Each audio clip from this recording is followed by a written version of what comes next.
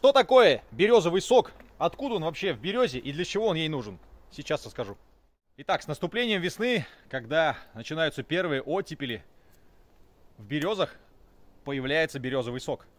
В этот период дерево готовится к тому, чтобы выпускать свои первые листочки.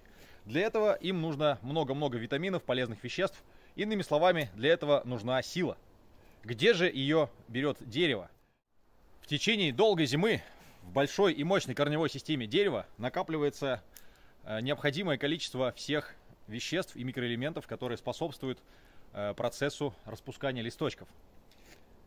Ну и, соответственно, в этот период все эти вещества по специальной ткани, которая называется ксилема, это можно провести аналогию с нашими кровеносными сосудами, все эти вещества в виде вот такого волшебного березового сока поднимаются вверх в крону дерева и начинают э, питать почки, из которых, соответственно, появляются в дальнейшем листочки.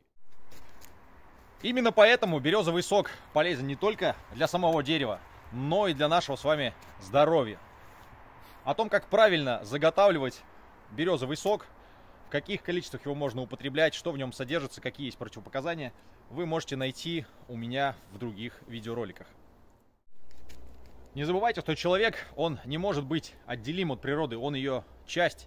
Поэтому все, что нам необходимо, мы можем найти в природе как раз в тот самый момент, когда нам это больше всего нужно.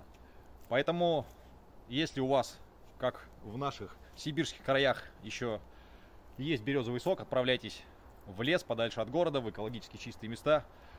И бережно и с уважением к природе собирайте березовый сок и все дары природы. Будьте здоровы!